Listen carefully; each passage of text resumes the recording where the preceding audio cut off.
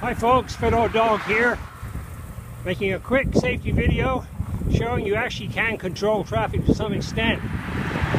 One thing for sure, if you don't want them to go by you, don't ride really close to that white line because it encourages them to slip through the space. See someone coming in your rear? I'll pull out a little bit, maybe two or three feet. That'll encourage them to stay back. Otherwise, there's a bike lane, use it and uh, ride safely.